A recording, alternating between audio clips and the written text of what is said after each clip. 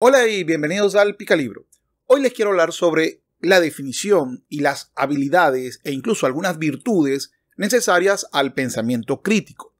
Todo el mundo habla del pensamiento crítico, se considera el pensamiento crítico es una de las habilidades más importantes del siglo XXI. Y esto se debe a que el siglo XXI se basa en una sobreproducción de información. Así que saber separar la información buena y la información mala y aplicarla, que sería la final lo que es el pensamiento crítico, es extremadamente relevante.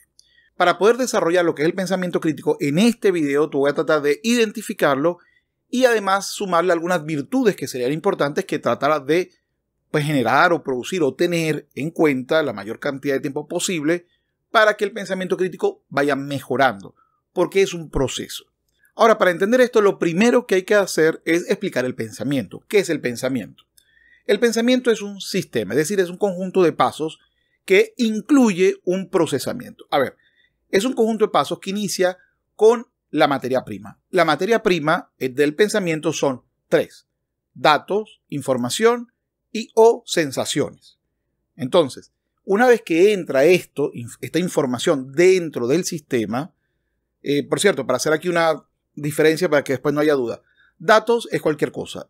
Por ejemplo, si digo 1492, eso es un dato, no tiene ningún tipo de significado, relevancia, etc.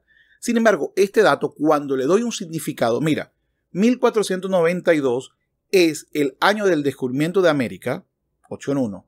Opción 2, 1492 es la cantidad de personas que me van a escribir en los comentarios que América no fue descubierta porque ya existía. 3. 1492 es la cantidad de libros que tengo aquí en mi biblioteca, por ejemplo, estos son tres ejemplos. Entonces ya no es un dato, es una información. Y esta información va a pasar a ser recopilada, porque todo dato tiene que ser de alguna u otra manera clasificado, analizado y segmentado. Por eso es que lo de las listas y todo esto es algo que llama mucho la atención porque nuestro pensamiento funciona con la clasificación. Y no es una clasificación per se, sino que es una clasificación para crear nodos de conexión entre ese dato, esa información y las sensaciones o las experiencias pasadas. Y ya les voy a explicar por qué. Entonces, el paso uno es que exista una materia prima, un conocimiento, perdón, una información, un dato o una sensación. Una vez que accede esa información, dato u sensación al cerebro, el cerebro me crea una clasificación de la misma para saber en qué ubicarla y con quién crear vínculos. Ejemplo, te voy a decir inefable y te digo es una palabra y te explico para qué sirve. Entonces tú agarras esa palabra nueva, que es una información nueva, la clasificas como palabra bonita o palabra interesante para usar hoy, y entonces va a la creación de un nodo, entra a una red de contactos, de información dentro del cerebro. Así que esta generación de conexiones, nodos o redes dentro del cerebro con relación a esta información que acaba de ingresar, tiene un fin o un propósito. Y ese fino propósito es dar un resultado. El resultado es el pensamiento. El pensamiento se manifiesta en la emisión de juicios, es decir, bueno o malo, feo o bonito, eh, aplicable o no aplicable, lógico o no lógico, etc. Juicios es al final lo que hace el pensamiento con esto, es el resultado.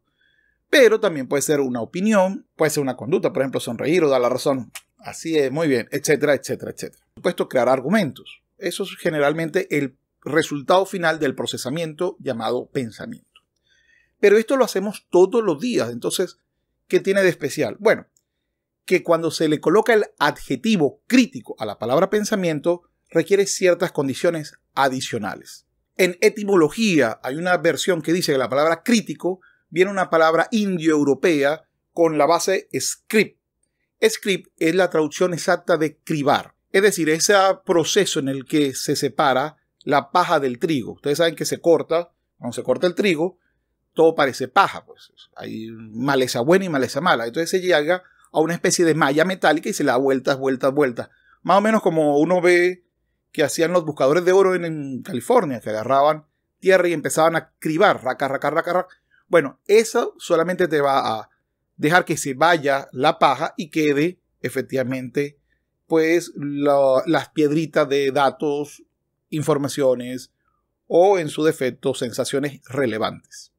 Así que creo que no hay ninguna mejor definición práctica del pensamiento crítico como ese pensamiento que me permite cribar y separar la información buena, útil o confiable de la que no lo es. En 1990 en la Universidad de California hubo una especie de, pues, evento, trabajo de grupo de muchísimos investigadores especializados en pensamiento crítico y educación.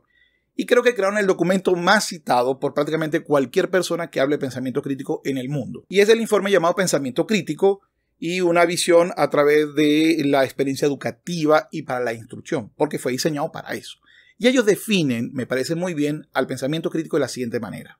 Entendemos que el pensamiento crítico es un juicio deliberado y autorregulador que deriva en interpretación, análisis, evaluación e inferencia, así como la explicación de lo probatorio, conceptual, metodológico, criterios o consideraciones contextuales sobre las cuales se basa ese juicio. Aquí abajo, en, el comentario, como comentario destacado, voy a dejar el enlace a este informe. El que quiera leerlo, se lo recomiendo sobre todo si quiere saber qué es el pensamiento crítico y cómo este grupo de pues, destacados académicos consideran que se puede desarrollar. Una de las partes más interesantes es cuando ellos van hacia las habilidades y las subhabilidades necesarias, porque el pensamiento crítico es el fruto del desarrollo de estas habilidades y sus subhabilidades respectivas. Igual que la vez anterior voy a utilizar el, el, fondo original en inglés y voy a hacer una traducción pues un poco contextualizada, no literal, para que se entienda mejor lo que están hablando, sobre todo porque el documento es muchísimo más largo que estas pantallas que les estoy presentando. Vuelvo y repito, si quieres ver el documento original, está en los comentarios destacados con un enlace específico. Está en inglés, no está en español. Lista consensuada de habilidades cognitivas y sus subhabilidades para el desarrollo para el pensamiento crítico. Y estas parten de interpretación de la información o datos, es decir, la categorización de la información, que se puede traducir como qué es, la decodificación de los resultados, que puede entenderse como qué significa, y el descubrir el propósito. ¿Qué quiere decir? Es el qué es y el qué significa, pero contextualizado a la información que se está recibiendo. La segunda habilidad cognitiva del pensamiento crítico es el análisis. Eso implica la separación de ideas, la identificación de argumentos, la comprensión de esto y sus relaciones. El tercero es la evaluación, es decir, la evaluación de lo propuesto, del argumento per se. No es solamente la identificación, sino la evaluación de lo bien logrado, lo no logrado, lo adecuado, lo que los argumentos sustentan, etc.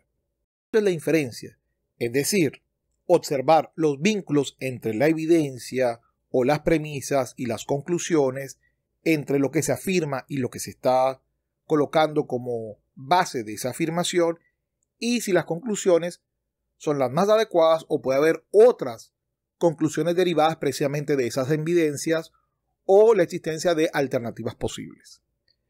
El quinto es la explicación.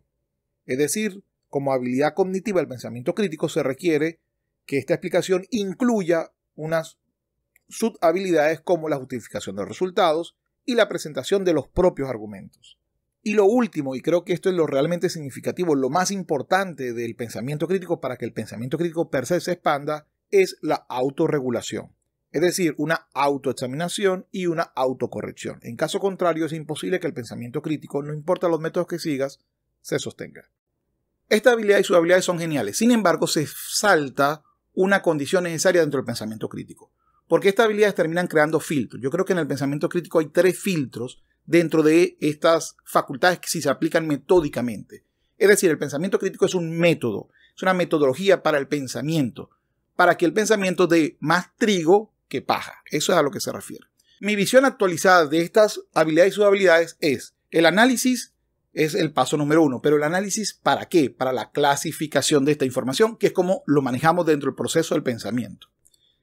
El segundo paso es la esquematización lógica. Y aquí quiero decir algo. Si no tienes conocimiento de lógica, aquí por cierto, en este canal le he dedicado varios videos a la lógica, por aquí están o por aquí, sobre los principios lógicos y sobre el saber pensar, que son métodos eh, específicos para aprender sobre lógica, sobre lógica proposicional, sobre lógica muy básica de nivel 1, de nivel 0, etc.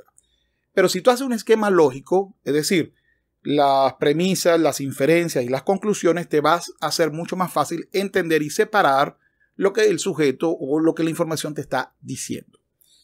Por supuesto, el tercer elemento son las bases extraargumentales. Por ejemplo, si yo voy a utilizar una fuente, mira, aquí hay un testigo, mira, aquí hay un experto opinando de esto, mira, aquí hay una prueba X, Z o Y, mira, etcétera, etcétera, entonces está fuera del argumento, porque no es el argumento principal, sino que es el sostén o uno de los sostenes del argumento. Así que efectivamente debo ir a ello y entenderlo como elemento extra argumental. Eso es simplemente un refuerzo del argumento, una prueba del argumento, no el argumento per se. El cuarto es la comprensión holística. Una vez que hice el análisis, la separación, la escamitización lógica y que vi las bases extraargumentales o probatorias en las cuales se funda esos argumentos, entonces obviamente tengo que volverlo a juntar. ¿Para qué lo voy a juntar? Esto se llama, por supuesto, la comprensión holística. Es decir, como la, conversación o el conocimiento fue un todo integrado, hay que ver que si ese todo integrado tiene una relevancia, un significado. Por ejemplo, si no es más que una respuesta irónica o sarcástica hacia algo y no hay que tomárselo muy en serio, o si por el contrario es un error, o si por el contrario es una información útil y voy a crear los nodos para tenerla guardada y utilizarla en un futuro. El quinto es, creo que uno de los elementos más importantes, la aplicación del segundo filtro, porque el primero, con el tiempo, tú vas desarrollando un filtro primero que te va a permitir separar la información útil de la inútil. Ejemplo típico, hay canales que normalmente uno ve que no son buenos, no tienen fuentes argumentales, extraargumentales sólidas, o que tienen un análisis muy oscuro, o que tienen incoherencia entre los argumentos y su conclusión, es decir, no se siguen entre ellos. Entonces tú los vas descartando, dices, no, no, no, no. Y efectivamente, los que te terminas suscribiendo y los escuchas, por cierto, aquí quiero agradecer a todos los que se han suscrito y todos los que escuchan, igual que a mis Patreon, que también quiero agradecer a los que van de seguidas. Humberto Om, David Garay, Carlos Fragoso, Eva García Franco, JAJL, Patricio Durantes, Javier Aguirre, Paco Medialdea, José Flores, Rocío Cori, Marcos, Joaquín López, Alfonso, Leonel Virrojas, Asturias, Jaime García, Marvin Jarquín, Salvor Gomi, Asteric, Alfonso Jornet, Dondo, Mario González, Néstor McNaud, Pedro SM, Thomas Dale, Johan Jiménez y Chris. Muchísimas gracias por el apoyo a este canal. El otro sería en la aplicación de este segundo filtro y la suscripción a los canales es una especie de filtro porque aquel al que no te suscribe o te desuscribe dice no me interesa lo que va a decir porque creo que o no es relevante para mí o es paja y no es trigo. Voy a buscar el trigo.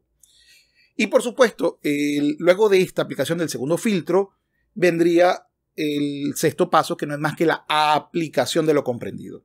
Esto es creándose un argumento a través o usándose ese elemento, eh, guardando la memoria, o aplicándolo en una conducta específica. Esos son los elementos de resultado de este pensamiento.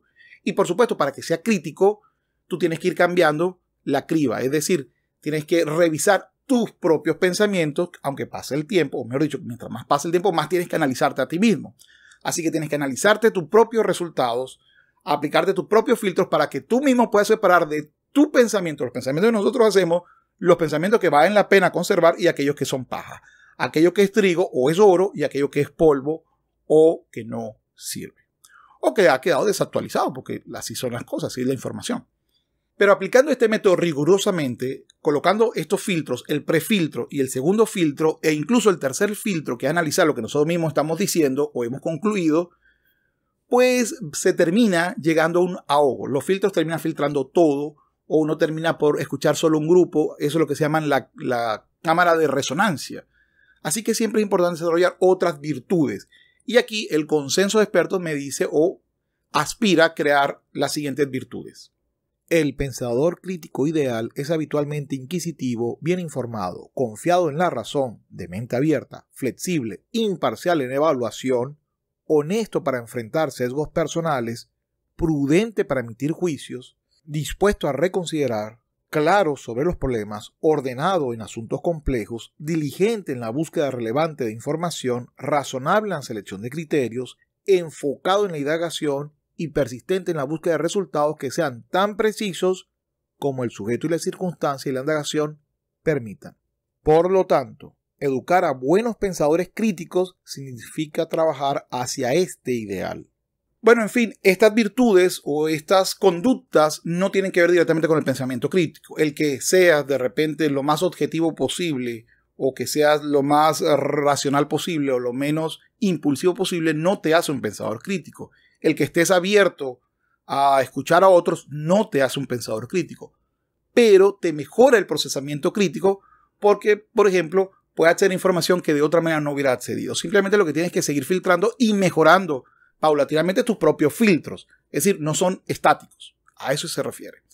Bueno, dicho esto, espero que te sea útil este video y nos veremos muy pronto. Así que antes de irte, te invito a suscribirte a mi canal, a mi canal secundario, a mis dos canales secundarios, el Picalibro 2 y Capitán Cultura, al igual que mis redes sociales, Twitter, Instagram y Facebook.